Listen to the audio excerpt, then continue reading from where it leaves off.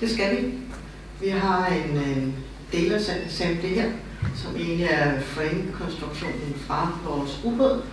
Og øh, mange af de her konstruktioner, de indeholder velmænds. Når vi har skulle lave en bogliste før, så har vi aldrig kunne lave den helt op top lidt. Det har vi muligheden for at gøre i dag. Men lige inden da, så vil jeg gerne lige øh, vise jer et par små ting.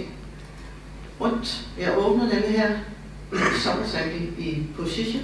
Det vil sige, at den position, den lige nøjagtigt er vist i på vores assembly, bliver så vist herinde.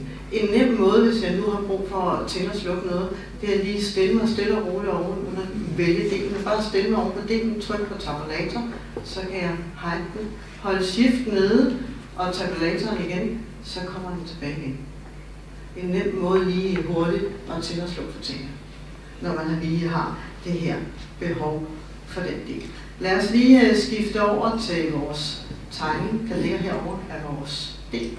Her har vi en fin tegning. Vi har en stykliste. Hvis jeg markerer styklisten herude, så har vi jo defineret af bogtypen af top level. Nu har vi muligheden for hernede at kunne gå ned og vælge, hvis vi er, er heldige.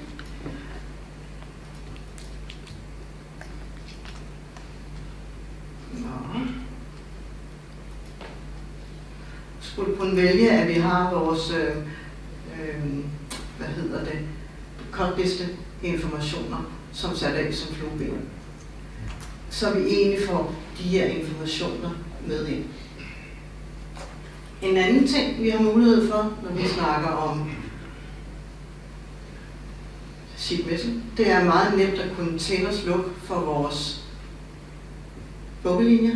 Lige oppe i året har vi muligheden for at tænde og slukke for dem hernede. I stedet for, at vi skal hen og hype dem i feature så kan jeg nemt tænde og slukke for dem her. En anden ting, det er, at vi på vores prædefinerede views i dag nu kan prædefinere, at vi gerne vil have vist med bukkelinjer. Så lad os øh, gå ned og åbne en template hernede.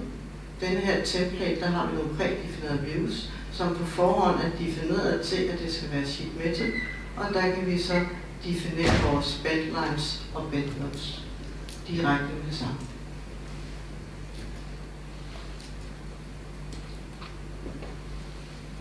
Tak, Martin.